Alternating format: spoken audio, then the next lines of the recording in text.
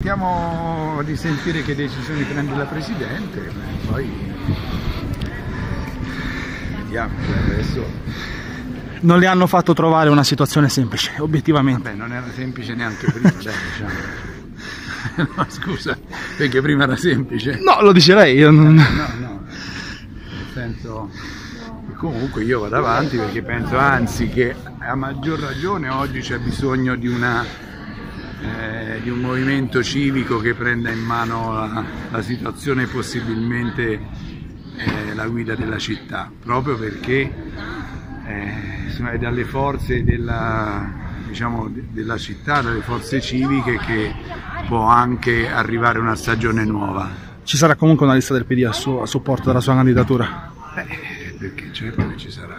C'è la lista del PD come ci sono le liste di più Europa, dei socialisti, di articolo 1, cioè tutta la, diciamo, la, la coalizione di centrosinistra Pensa che di porre- continuerà a appoggiare. Pensa di porre dei veti in questa lista? Sente di avere maggior potere adesso per farlo? Ma io quello ce l'avevo già da prima, il candidato sindaco può decidere sulle liste. No, quello che mi aspetto magari è un segno di rinnovamento che questa situazione qua si è, insomma, la lezione si è capita. Questo. Mi dice da né da giornalista né da candidato, da cittadino, che sensazione le ha fatto leggere quelle intercettazioni? Beh, innanzitutto tutto quello che appare nelle intercettazioni va poi, deve passare al giudizio di, di un'aula, di un processo, le intercettazioni possono dare anche impressioni diverse rispetto a quelle che lette sui giornali, dico rispetto ai colloqui veri, bisogna vedere in, in che contesti sono avvenuti, cioè insomma poi non bisogna neanche essere troppo faciloni nel giudicare queste cose. L'impressione sgradevole è che ci sia un sistema che privilegi eh, certe persone a discapito di altre, questa è l'impressione negativa che si ha. Secondo me si, si dovrebbe dimettere la Marini? Sì, Cioè, io non posso dire se si deve dimettere, Parlando sempre da cittadino.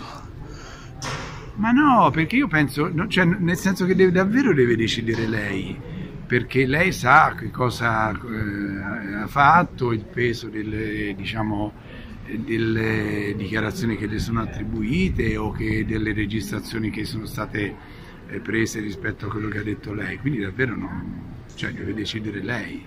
Sul Grazie. serio, non, non- non voglio eludere la domanda, ma perché è, lei che sa che cosa, diciamo, no? quali sono stati i suoi comportamenti veri. Io confesso che da giornalista dico che mi fido poco della stampa, nel senso ho un giusto, una giusta dose di prudenza rispetto alle cose che leggo sui giornali perché avendo fatto questo mestiere da 40 e più anni... so Beh, non che- saremo peggio dei politici. No, no, però eh, io se fo- adesso io ho un altro ruolo, ma se fossi giornalista farei come te, naturalmente mi, mi fionderei sulle cose diciamo, che, che- che- che fanno notizia, è ovvio. Grazie soprattutto per la disponibilità, grazie mille. Ciao. Buona serata.